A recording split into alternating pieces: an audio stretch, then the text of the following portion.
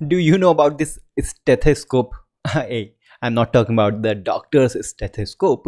There is an amazing Laravel package called stethoscope which is going to listen or see your CPU usage and the memories and basically it listen for the Laravel app server heartbeats.